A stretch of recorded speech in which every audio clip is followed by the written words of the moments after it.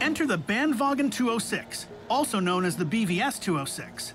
These machines prove if you can survive the Arctic, you can survive anywhere.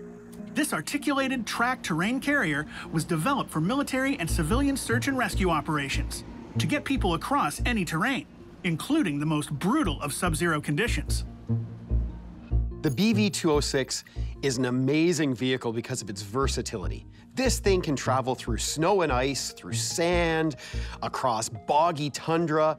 So many vehicles were really limited to roadways and, and relatively smooth surfaces.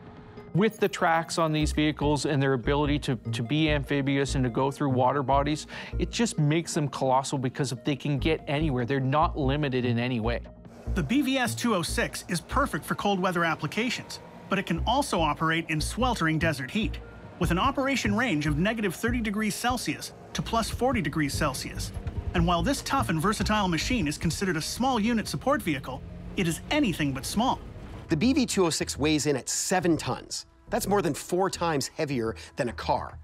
And at seven meters long, it's about half the length of a city bus. Development of the BVS 206 began in 1974. At the time, the Swedish Defense Administration were looking for a vehicle that could traverse all of Sweden's many terrains. Dense forests, marshy swamplands, to the frozen mountains of the north. The first BVS 206s were delivered in 1980, and this unique machine's cold weather applications made it sought after by countries all over the world. Since the BV-206 first hit the market, over 11,000 have been produced, and they're used in more than 37 countries worldwide, including the United States, the United Kingdom, Canada, Iceland, Norway, Sweden, and Germany. This popular machine is a workhorse in its design. Not so much for speed, but for its ability to haul people and material almost anywhere, including the coldest places on planet Earth. And to haul people in extreme climates, it needs an extreme engine. The BV-206 is equipped with a powerful six-cylinder, four-stroke turbo diesel engine. That generates about 180 bhp, brake horsepower, and 202 kilowatts at 2,500 RPM. But this engine isn't really about speed. It's all about hauling power to get over tough terrain like ice and snow.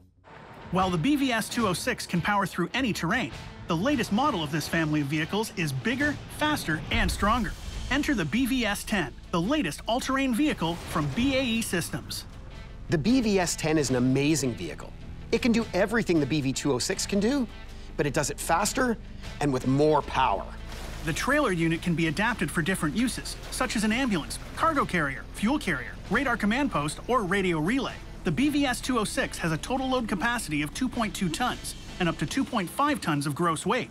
It can also be towed behind a second compartment for a total haul weight of 5 tons. The BVS 10 can carry much more, up to 11 tons in total. But both machines have special abilities that sets them apart from other machines. They can carry all that weight not only on land, but also on water. Archimedes' principle says that an object must displace its own mass in water in order to float. The BVS-10 weighs 15 tons and includes a large buoyancy system in order to support that weight and displace the required mass of water so that it floats. For example, to compare that to a rock, a rock is much more dense. It's not able to support its own mass because it can't displace the volume of water required to support its weight, and therefore it sinks. Many of the design elements that allow it to float also allow it to traverse the snow with ease. On the BVS-10, the tracks are 620 millimeters wide and molded rubber with cord. This means the maximum ground pressure is about the same as the BVS-206 vehicle, which is 4 tons lighter. With their adaptability and power, the BVS family of vehicles are truly colossal machines.